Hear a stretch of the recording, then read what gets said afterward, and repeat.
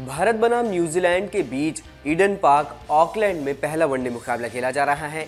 इस मुकाबले में टीम इंडिया की तरफ़ से उमरान मलिक डेब्यू कर रहे हैं। आपको बता दें कि उमरान मलिक को इंडिया का स्पीडस्टर भी कहा जाता है और ऐसा उन्हें इसलिए कहा जाता है क्योंकि उनकी गेंदबाजी लगभग 150 किलोमीटर प्रति घंटे की रफ्तार को छूती रहती है।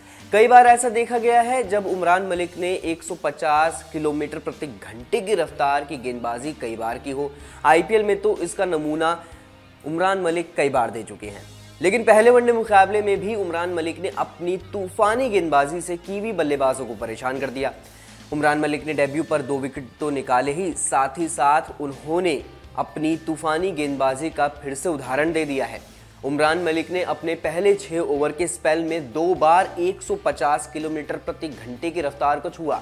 ऐसा उन्होंने अपने दूसरे और छठे ओवर में करके दिखाया। आपको बता दें कि उमरान मलिक ने पहले 150 किलोमीटर प्रति घंटे की रफ्तार से गेंदबाजी की, फिर उसके बाद उन्होंने सोलहवें ओवर में एक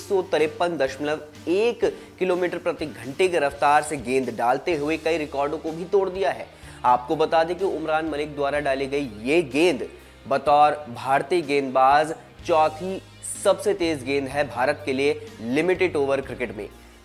आपको बता दें कि एक ही वनडे मुकाबले में उमरान मलिक ने दो बार 150 किलोमीटर प्रति घंटे की रफ्तार से ज़्यादा गेंदबाजी की।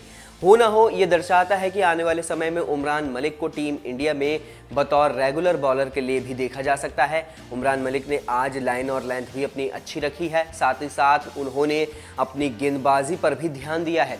उन्होंने लाइन और लेंथ अच्छी रखते हुए तेज तरार गेंदबाजी की है। इंडिया में इतने तेज तरार गेंदबाज आम तौर पर नहीं मिलते हैं, लेकिन उमरान मलिक ने आज ये दर्शा दिया है कि अगर इस खिलाड़ी को लगातार टीम इंडिया में मौका दिया जाए तो फिर वो दिन दूर नहीं, जब हम भी 160 किलोमीटर प्रति घंटे की रफ्तार से गेंदबाजी कराते हुए देख सकते हैं। इस खबर में फ़िलहाल इतना ही, बाकी की तमाम खबरों के लिए आप बने रहिए वन इंडिया के साथ।